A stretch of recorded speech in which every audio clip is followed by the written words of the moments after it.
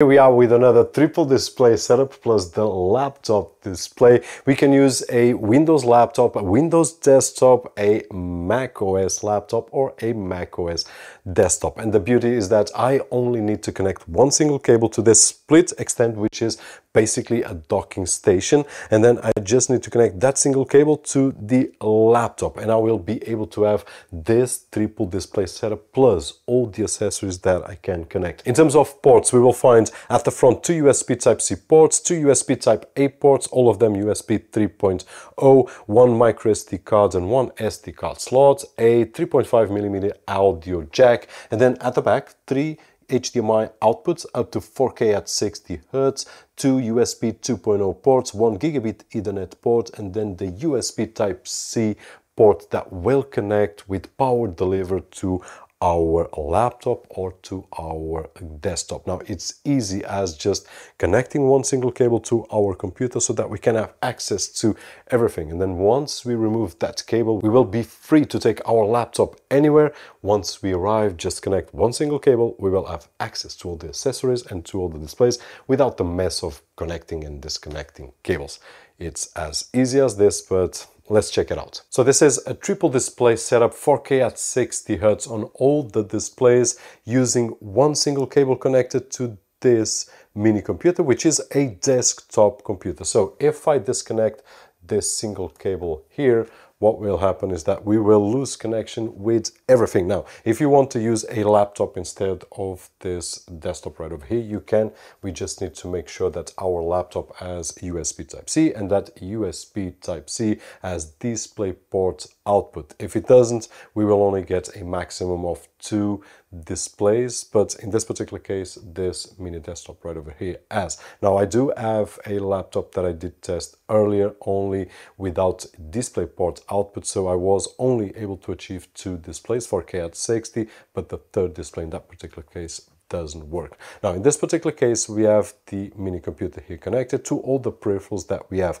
So at the front we will find two USB Type-C ports, one of which is connected to that phone right over there, which is charging up to 20 watts, fast charging. And we also have a USB type A and USB type A 3.0 and a SD and micro SD card. If we want to connect our headphones, we can connect here on the 3.5 millimeter jack. And then at the back, we have the three HDMI outputs. There's also the two USB 2.0 ports that we can connect our mouse, keyboard, and so on. And then we have a gigabit Ethernet port and then finally the USB Type-C uh, cable that will connect to our computer and will deliver power up to 100 watts. Now we can achieve right now is through one single cable on a desktop or a laptop a scenario where we can have everything that we want in three different displays up to 4K at 60 Hertz. Now I do have an external SSD right over here, so if I go to select target drive and let's just select the AFRO and select, we can do a speed test right over here, which is starting slowly, but it will get to the, the speeds that we want to check out. If I go to my browser in the meantime, what we will be able to see is that I've got two internal hard drives and then I also have one SD uh, card, uh, actually the SSD through USB and then one SD card. So at this moment, let me just move out of the way of the speed test. If I disconnect this SD card right over here, we will see that it will disappear from the Explorer. And now if I connect the SD card once again, it will be back on my Explorer. And right now what we are achieving is the speeds more or less 5 gigabit, which is a maximum of 500 megabytes per second reads and on writes. We are achieving roughly 425 megabytes on reads, roughly 410 megabytes on writes, which is the maximum that we will be achieving on a 5 gigabit USB 3.0 connectivity. Now, one of the things that we will need to do is to install the driver, the DisplayLink driver which is available on the user guide when we get this SplitXtend and we also have the support on the OREI's website right over there. So it's really simple. Just go to the website. We can search for this particular model, or I'm sure that you will see a link down below with all the specifications. And also you can see the website as well and the product page. Now, at this moment, we can stop the speed test. And one of the things that we can check out is the display. So 4K, 60 Hertz, it's great. We can do all the configurations that we want. We can rearrange how we want. At this moment, I've got number two right over there number one and number three. In case of a laptop, we will have an extra screen, which is the laptop screen.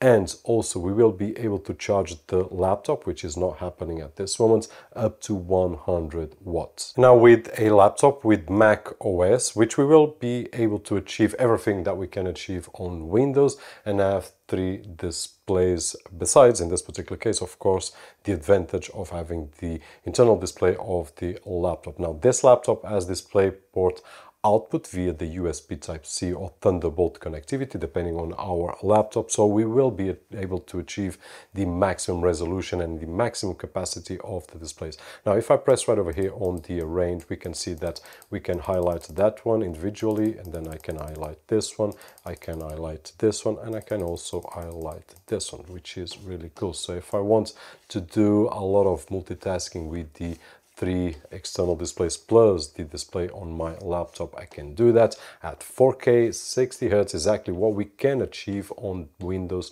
computers. Of course, the only limitation is computers that do not have the display port output will be limited to two external displays output besides the internal display right over here. But basically, just to show you that it's working. And the biggest advantage right over here is that if we check on the laptop side, we are charging the computer and we, we will be able to use the computer without having to connect any other cables. At this moment, the only cable that I've got connected is the cable to the split extent. So if I disconnect my laptop, let's say that my work session is over, I can just disconnect. I then will take my laptop to work. If I do have another SplitXtend at work, that will be great because I can just arrive there and plug it in. If I don't, I will have to work with just one single display, which is really sad and not really fast at all. But once I get back to my setup, I just need to plug in back the uh, SplitXtend, one single cable,